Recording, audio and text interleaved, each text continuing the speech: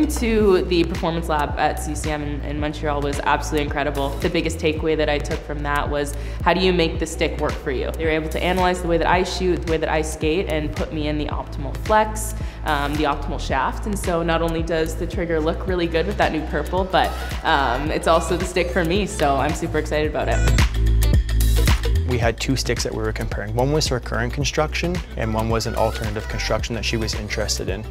Um, since her current construction is a mid kick, we wanted to go on the other extreme and look at how a low kick would perform. And we found that with her shot conditions and her shot technique, she would benefit most from a low kick stick, which will increase the shooting performance that she has, while also keeping a softer blade to maintain that increased puck feel, which is so important for players in today's game. The biggest thing that I noticed with the low kick point on the trigger was that I just felt the puck a lot more and I think that's something that I've been lacking and I've been missing from my previous sticks. So being able to really feel the puck has helped me all over the ice, not only with shooting, but with passing, stick handling, uh, being able to keep my head up even more. And so I think it's been uh, pretty awesome for me.